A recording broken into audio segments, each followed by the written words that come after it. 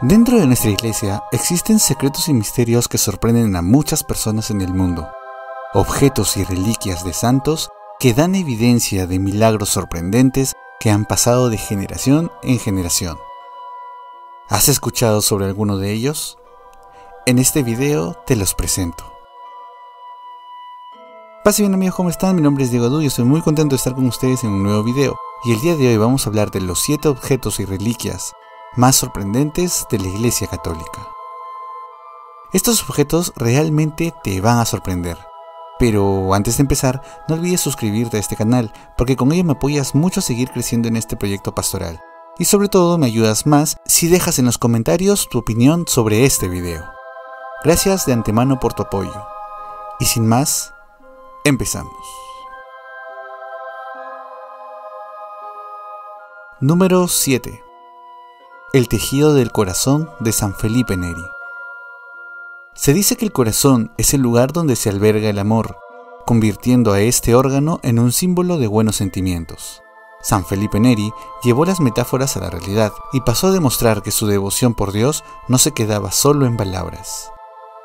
Una tarde, mientras oraba, San Felipe tuvo la visión en la que una bola de fuego entraba por su boca y agrandaba su corazón. Al despertar, el santo se encontró de rodillas rezando y con un fuerte dolor en el pecho. Su corazón había aumentado de tamaño, llegando incluso a romperle dos de sus costillas. Fue debido a esto que años más tarde, tras su muerte, la autopsia reveló que su caja torácica se había expandido para contener semejante órgano y que éste habría desarrollado un tejido protector.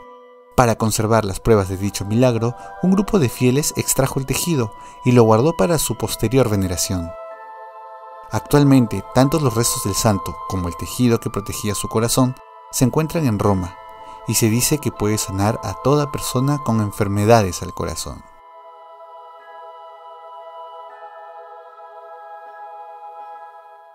Número 6.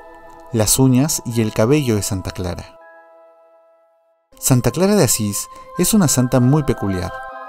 A pesar de haber vivido en el siglo XIII, es considerada la santa de la televisión. Su canonización se debe a que una noche de Navidad se encontraba muy enferma como para poder ir a misa. Sin embargo, descansando sobre su cama, comenzó a escuchar los conocidos cantos de la iglesia. Al voltearse, pudo ver la ceremonia reflejándose en la pared de su casa como una proyección divina. Fue debido a este milagro que la Iglesia Católica decidió honrar a esta santa, guardando algunos recortes de sus uñas y cabello en un frasco de cristal. El Papa Pío XII, en reconocimiento por aquel milagro, la nombró Santa Patrona de la Televisión, y sus restos pueden ser visitados en la Basílica de Santa Clara de Asís, en Italia, y se dice que quien las toque podrá llegar a ver en el momento lo que está aconteciendo en lugares distintos al mismo tiempo. Número 5. La sangre de San Pantaleón. Este santo turco fue cruelmente decapitado el 27 de julio del año 305 por abrazar la fe católica. Tras este acto, varios fieles reaccionaron inesperadamente, recogiendo con algodones la sangre que cayó. Estos fueron guardados dentro de ampollas y enviados a varias partes del mundo. En el año 1611, uno de ellos llegó a Madrid y tras un tiempo algunos observadores notaron una particularidad. La sangre se mantenía gran parte del año en estado sólido, pero al acercarse la fecha exacta de su decapitación, la sangre recuperaba su estado líquido durante 48 horas. Lo mismo sucedía cuando un desastre natural estaba a punto de llegar al lugar. Muchos creyeron que esto era una farsa, pero la Inquisición envió testigos propios durante siete años para comprobar la veracidad de los hechos. Sorprendentemente, el milagro ha sido constatado y al parecer ocurre casi todos los años desde que se tiene este registro. Esta reliquia es del asombro y el estudio de muchos, ya que en varias ocasiones ha predicho desastres naturales antes de tiempo. Número 4. Las cadenas de San Pedro. San Pedro es uno de los santos más conocidos en la cultura popular, debido a su papel en la formación de la Iglesia Católica. Pero no todos conocen la historia de sus cadenas. Él estuvo encarcelado por un tiempo en Jerusalén, y tras su liberación, las cadenas que lo mantuvieron aprisionado se volvieron un objeto de veneración por los religiosos. Una vez San Pedro fue liberado, la emperatriz Eudocia se apoderó de las cadenas que lo habían sujetado y envió una de ellas como regalo al Papa. Cuando estas cadenas llegaron a Roma, él quiso comparar junto con otras cadenas que también habían sido utilizadas para aprisionarlo. Sin embargo, al acercarse unas a otras, ambas cadenas se entrelazaron y se unieron en una sola. La emperatriz, asombrada, reconoció este milagro divino y ordenó que se construyera una iglesia para proteger esas cadenas. Esta iglesia se llamó San Pedro in Vincoli y se mantiene en pie hasta el día de hoy. En la actualidad sigue siendo objeto de interés de los fieles y cada año acuden al templo para venerar las milagrosas cadenas. Se dice que quien las pueda tocar podrá tener el don de mando y podrá asumir un cargo muy importante. Esta es una reliquia apreciada por personas que postulan a tener cargos como la presidencia de un país. Número 3. La escalera de San José. La historia cuenta que el arzobispo de Santa Fe, Juan Bautista Lamy, ordenó construir una capilla para el convento de la ciudad. El área del coro precisaba una escalera de mano para acceder al mismo, pero el arquitecto murió repentinamente dejándose sin construir esta escalera. Las hermanas consultaron a cientos de arquitectos cómo debía ser esta escalera, y todos ellos decían que la construcción era mala y la escalera era imposible.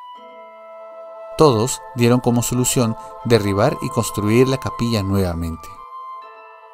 Las religiosas, necesitando a alguien calificado para construir esta escalera, rezaron a San José una novena. Al último día de la novena, un extraño anciano apareció en la capilla. Les dijo que les construiría la escalera, pero que precisaba de total privacidad durante tres meses.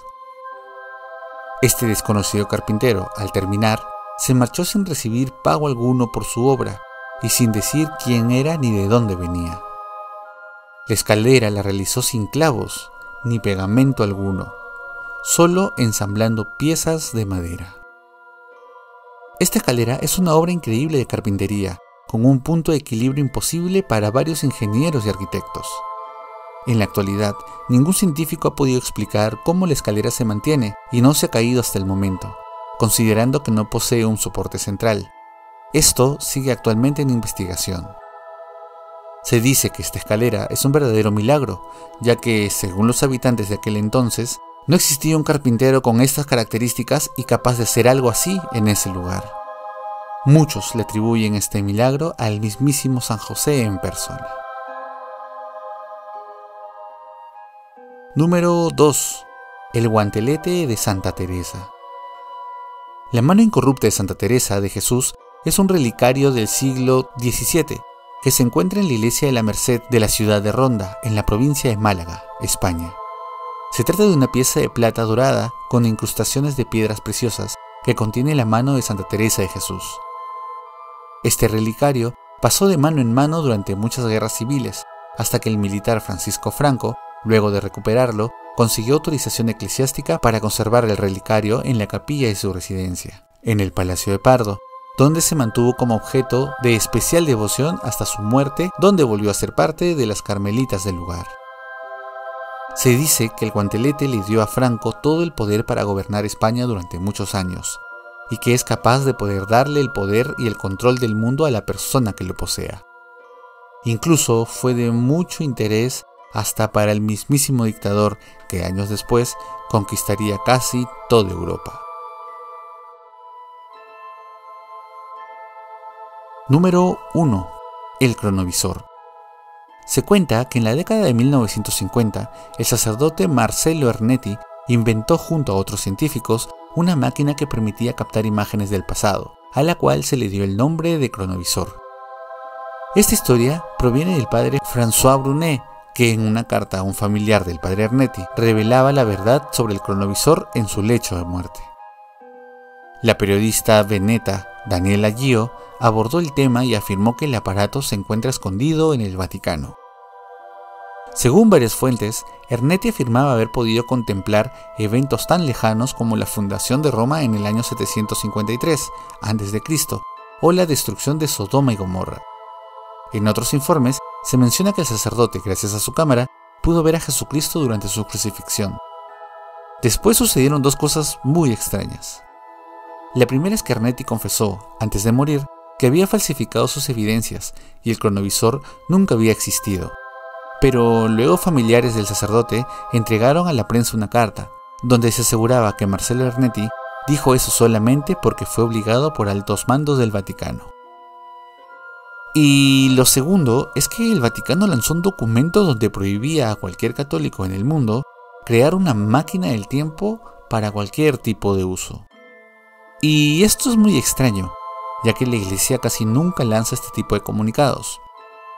No lo hizo ni para guerras mundiales, para bombas atómicas, filtraciones privadas de la Iglesia y etc. Pero para este caso sí lo hicieron. ¿Por qué? Te lo dejo a tu imaginación. Este objeto está en el puesto número uno porque con él podrías ver el pasado y el futuro del mundo y hasta poder modificarlo. Sería un poder que no es apto para ninguna persona en el planeta. ¿Y tú qué opinas? ¿Crees que alguno de estos objetos realmente interceda de forma milagrosa? ¿Conoces algunos otros más? Te leo en los comentarios. A ver si hacemos una segunda parte. Gracias por ver este video, debajo te dejo mis redes sociales para estar más en contacto. No te olvides suscribirte, dejar un like para apoyar mi proyecto pastoral y deja un comentario para estar al tanto de más videos como este. Eso es todo por hoy, que Dios te bendiga y la Virgen María te acompañe. Chao, chao.